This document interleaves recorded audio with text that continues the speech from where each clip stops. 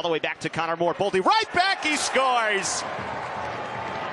Less than 90 seconds in. Credit to the goaltender for that, keeping them in every game as well. Boldy stops, shoots, scores! McGinnis. Now Boldy for Newhook below the goal line. Back to Boldy, score! That is five. No- Newhook works in for Boldy. In front, score!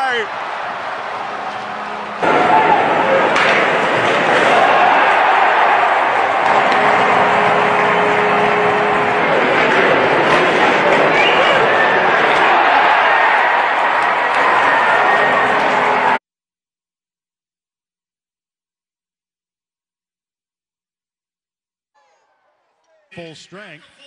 McLaughlin went right to the bench. There's a shot and a score. It was still five on four as McLaughlin.